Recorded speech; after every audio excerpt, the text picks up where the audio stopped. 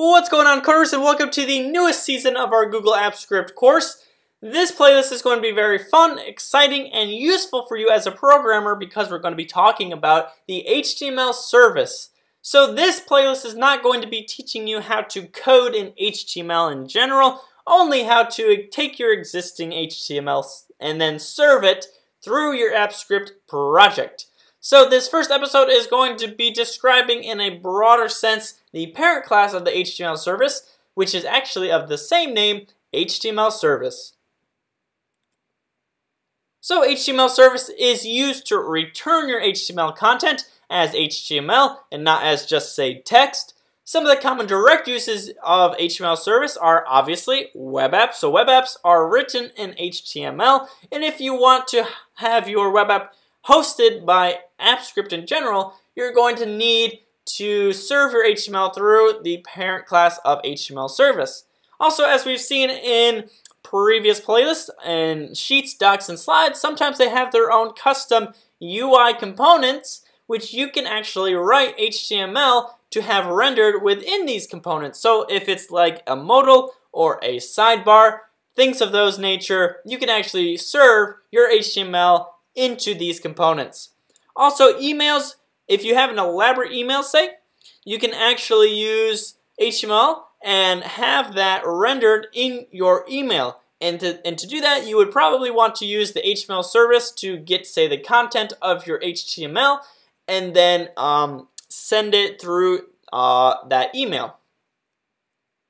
Alright, so before we continue, I just need to clarify one thing. The HTML that you write in, say, a file. Once you send it through HTML service, it's going to be sanitized through a sanitization called Caja. And it's also going to be double iframed. So this is just, all of this is just security protocol, security measures. Google does not want you writing any code that could be malicious and then serving it through their own product like AppScript. Uh, they just don't want any of that dirt on their hands. So what they do for security, uh, one of the one of the big things is that they double iframe your uh, your HTML, and the outer iframe is actually sandbox. So as you can see on that outer iframe on the code that I have written below, we have the attribute of sandbox, and it does allow a lot of things, but doesn't allow everything. So that's just something to keep in mind if you're writing more advanced web apps. And then also there's that inner iframe. Um, and then after that, it's your content. But your content, again, it's not the exact content that you write. Sometimes it could be the exact content, but it will be sanitized. If you have anything that's shady or uh, that could be shady, at least I'll say, is they'll sanitize it. They'll either remove it completely or they'll modify it in some way. And that is just, again, Google's safeguard against any malicious code that may come about. Alright, so let's see an example of this in the code right now. So here in the code editor, I have a very simple HTML file. All it has is an h1 tag that says this page was served through HTML service, and then also a base tag and a title tag. And you'll see why I have my undisplayed title here. It's because this is one of the uh, tags that gets sanitized through the Caja sanitization process. Um, so there is actually another way to actually create a title for your HTML page, um, but we'll go over that in a later episode. Alright, so let's now uh, publish this as a web app.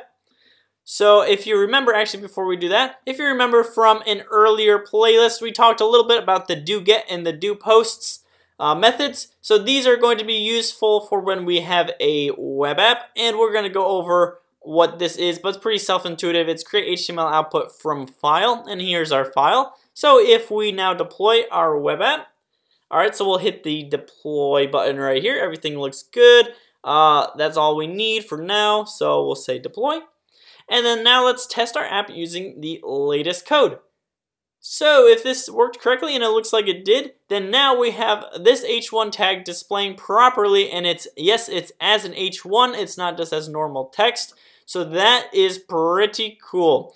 So now let's look at our development tools. We can already see that some of it was sanitized. So if we look here again, the title uh, my undisplayed title is not displayed up here in the little tab. This is where the title would usually go, but it's not there. So that is one of the things that got sanitized, but let's just verify it.